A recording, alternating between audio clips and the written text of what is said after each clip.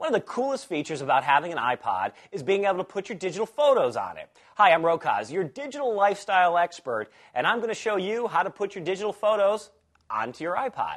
First thing you're going to need to do for the transfer port is to hook up your cable to your iPod and the cable to the USB port to the computer. So now it's all in synchronization.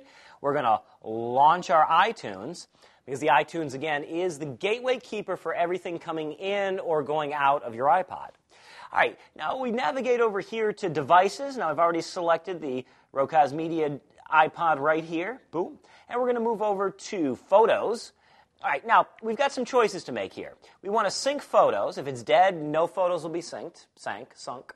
Now we're going to collect, or uh, click rather, the sync photos. And now, if you've got things set up in your iPhoto library, if you're a Mac user, um, then you can just simply transfer them over there. You're arranging things in different albums on that program.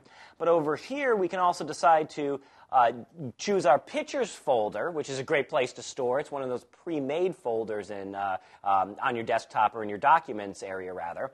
Or we can choose a folder. In my case, I want to choose a folder in which case our, our Finder style window will come up, and I'll navigate right down here. The one that I want to use is an external thumb drive.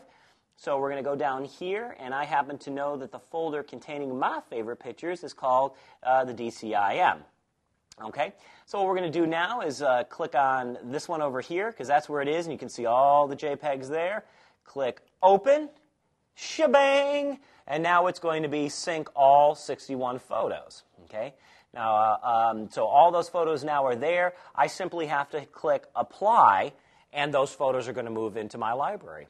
So it's pretty simple. All you have to do is uh, tell, tell the iPod or the iTunes rather that you want to sync photos, where those photos are located, put them in a common file, arrange them anywhere you care to, choose it, click apply. After the syncing's done, you're ready to go.